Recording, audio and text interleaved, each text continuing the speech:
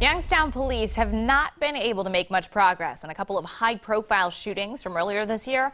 It's been more than two months since a shooting inside the Utopian nightclub that killed one and hurt two others. Now, we're told detectives have been waiting for test results to come back to determine who the shooter was. It'll help determine.